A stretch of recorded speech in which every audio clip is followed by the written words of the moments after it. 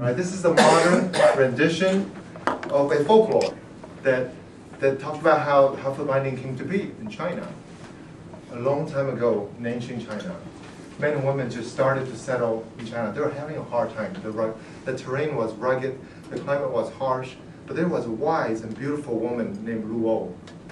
Luo came to her aid, came to their aid.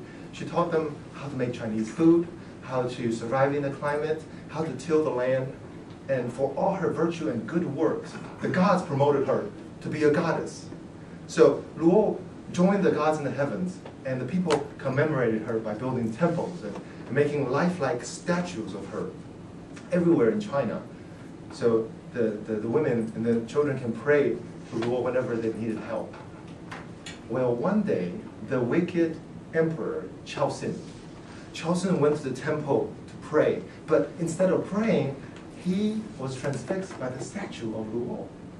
And he fell in love with that beautiful face, and he said, I must have Luo for my wife. Bring her to me. I want to marry her. Only her is worthy of the royal chamber. Well, this did not sit well with the gods. They said, hmm, let's call a staff meeting. let's figure out how to give the appropriate punishment for Chao Xin who will volunteer to go down on earth and give poor advice to the emperor so that they will result in poor decisions that ultimately cause his own doom. Well, the vixen demon volunteered. The vixen demon has an impressive resume of enticing husbands with wandering eyes into adulterous affairs. So she's ready to take on missions of a grander magnitude. So back on Earth, the courtiers were laughing behind the back of the emperor. They're saying, he's gone stark mad. The emperor has fell in love with the statue. A wise advisor spoke up, of course.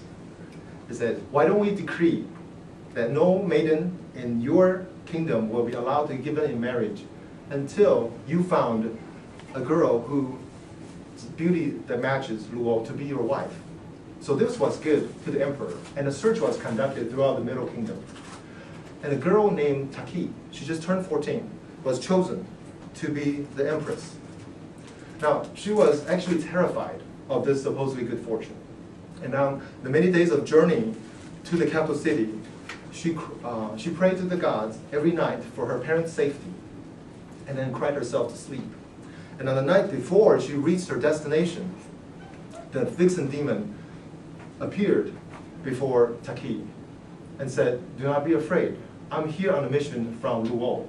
Now this was, this was comforting for Taki because Luo was a, a goddess that, was, that befriends women and children. The demon, the uh, vixen demon said, my mission is to punish Chao Xin, the evil emperor. Taki said, I'm just a helpless girl. How, I can't, I don't know how to punish anyone, much less the emperor of China. The vixen demon says, I will become you. I will do all the hard work. I just have to take over your body for a season. Do you understand? Now Taki says, oh, I see, but don't take too long about it because it's weird having somebody being inside your body. so let it be done as you said. So the vixen demon entered Taki, the, the little girl, 14-year-old girl's body. Now, Taki still looked exactly the same as before, except now her foot shrunk. Both her feet shrunk to the size and shape of a fox. Now, this was annoying at first to the vixen demon, but figured that no one would notice inside her shoes. You know, she didn't do anything about it. And after the royal wedding, the vixen demon went to work. She gave so many bad advice that the the emperor, the wicked Chao Xin, started committing acts of atrocity. And he is uh, executing many of his advisors unjustly and devised those instruments of torture for those subjects that were disagreeable with the crown, so to speak. So the people grew hateful of Chao Xin. They talked of rebellion openly. But at the same time, at the same time, the, the queen, the vixen demon, become very popular, become a general favorite with the court women.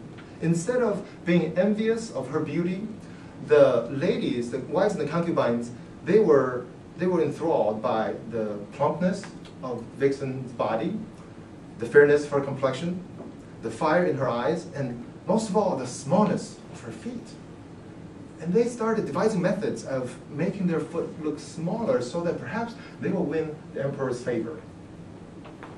Well, sadly, this absurd fashion got out of the royal palace, and the men of China started developing a fetish for small feet. So the mothers start binding their daughters' feet and then bending the toes backwards, downwards until it snapped, the bone broke. And eventually, the little girl's feet, they have to suffer, endure this until their feet look like that of a deer hoof with a deep crease in the center. All for the sake of marrying well. And unfortunately, even today, the power of the vixen demon is still felt in the world because there's still some men and women out there who think that it's more desirable to have a small pair of misshapen feet than regular functional ones. But back to our story. The people conducted a rebellion, they overthrew the dynasty, and they put Chao Xin to death using one of his very own instruments of torture. But the noblemen and lords knew that the favorite queen was behind all the worst evils, so they demanded the death of Taki.